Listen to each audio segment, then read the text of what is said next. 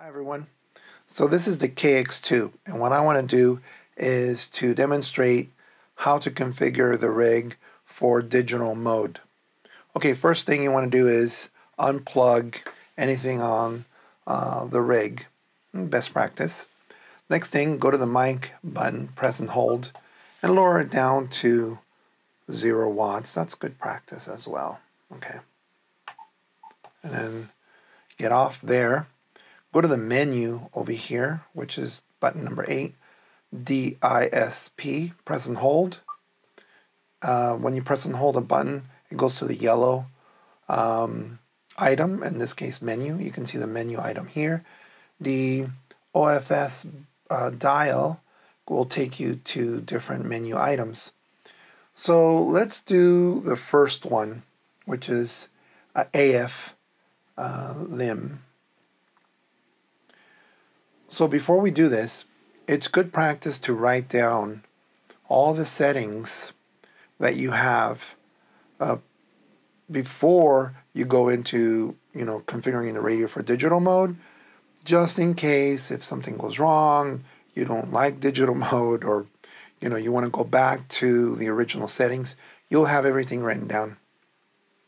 Okay so here um, we just moved the OFS dial to give me the menu AF lim. Right now it's at 30. I'm going to use the VFO dial. I'm going to lower it down to 15 because I don't want to crank the AF too much um, when I do digital mode. Okay, next thing I want to use the um, OFS dial here to go into AGC MD. I'm going to make sure it's off, and it is right now off. So make sure that that item is off. Then mic bias. Let's go to mic bias. Some people say that needs to be off, so we use the VFO dial for off. Make sure that um, you don't go past the setting that you need. I'll, it's happened to me a few times where I'll just scroll and be like, oh, it's off, but somehow I'm not really paying attention and it's really on. So just make sure you have move the dial properly. So we have it off and then the RF gain, we're going to put that to zero.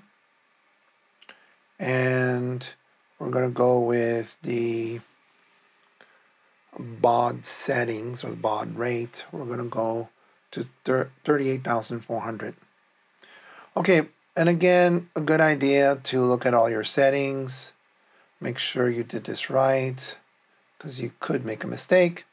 AF lim should be at 15, okay. AGC MD is off, okay.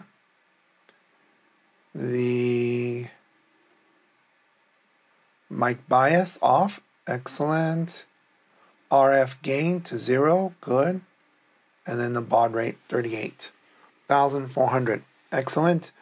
Now press the DISP button, get off those menus. Now let's deal with some other settings. Uh, the noise blanketer, as you can see, it's on. Make sure it's off. So you press the AF dial here, press and hold, and it goes away.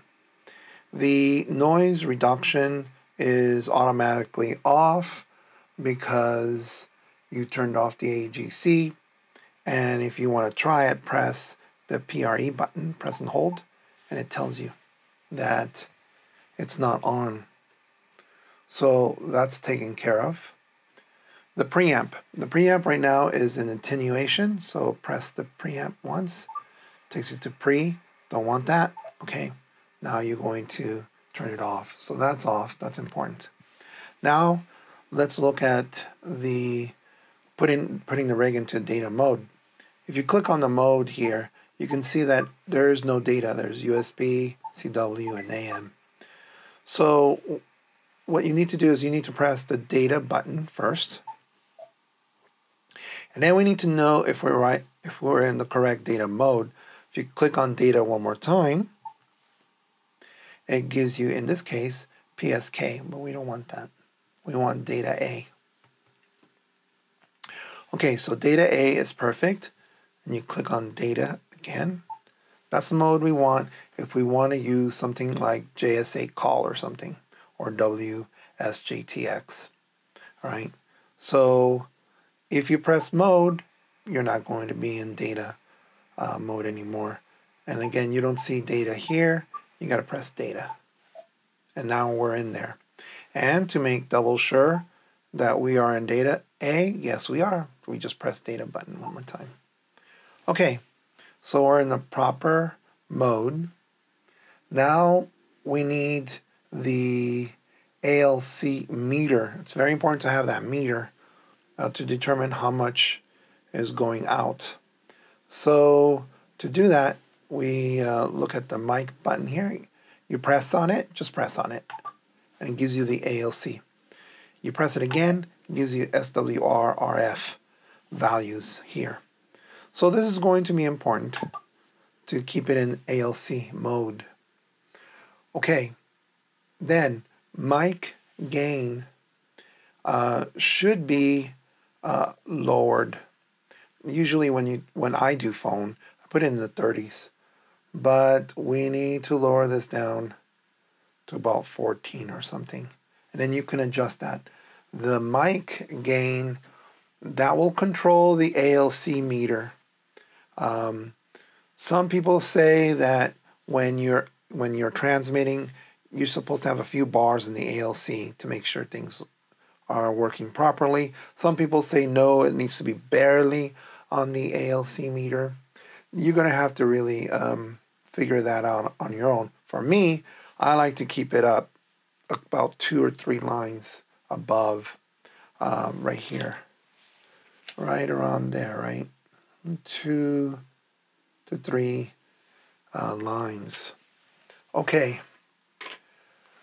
All right. Then, something that you need to do also is the fill. If you click on fill once, you need to adjust the width to about four, well, actually four. Got to make it wide all the way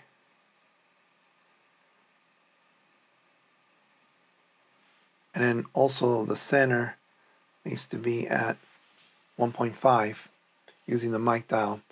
Now there is something that I have seen before. Sometimes when you do this, you set this up, you put it on your computer, it looks like it's not spread out. The data doesn't seem to be spread out all the way when you're looking at uh, something like WSJTX or FT8, right? And sometimes you have to do this again. You have to click on the fill and then just redo it. That's a tip that uh, might help you out. Okay, and then we're almost done. We would turn it off, plug in all the items that you need, and when you turn it on again, make sure that uh, you click and hold on the mic button and then put 5 watts. Uh, don't put it any more higher than that uh, because what happens, and then you click on this, what happens, the, the, the rig, the radio, gets pretty hot when you use it a lot. Uh, you can click on display and then use the OFS uh, dial here to give you the temperature. Right now it's doing pretty good. I have this heat sink here that you can buy separately to help you dissipate that heat. But you'll note you'll notice that when you use it, uh, when you're transmitting a lot, it does get warm. And then after you hook it all up, you're ready to go on this side. Uh, just keep in mind that the um, AF dial here, when you move the value here, that's going to help you control the receiving um, uh, signal to the computer, right? The higher this is, the higher your signal that's coming in and you don't want it that high so you can control it that way. And the mic here this is to send out the signal. So that's kind of important. These two you kind of adjust and you uh, try to figure it out as you go. I do have another movie that's that's uh, coming up that I will hook up the um, the Raspberry Pi to show you uh, some best practices on that. So, if you uh, did enjoy this video or it was very helpful, please consider subscribing. Please uh, give me a thumbs up. And I hope you have a great day and be safe out there. Thank you very much. This is Frank KN6BST.